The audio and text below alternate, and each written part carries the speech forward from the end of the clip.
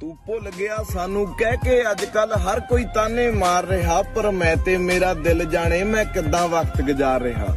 ਕੱਲੇ ਰਹਿਣ ਦੀ ਆਦਤ ਨਹੀਂ, ਮਜਬੂਰੀ ਬਣਦੀ ਜਾ ਰਹੀ। ਮੈਂ ਭੇਤ ਕਿਉਂ ਦਿੱਤੇ ਦਿਲ ਦੇ ਸਭ ਨੂੰ? ਗੱਲ ਅੰਦਰੋਂ ਅੰਦਰੀ ਖਾ ਰਹੀ।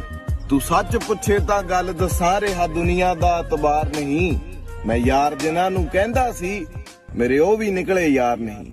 ਹੋ ਮੈਂ ਤਾਂ ਸਭ ਦੀ ਕਦਰ ਕਰੀ, ਪਰ ਮੈਂ ਕਿਸੇ ਲਈ ਖਾ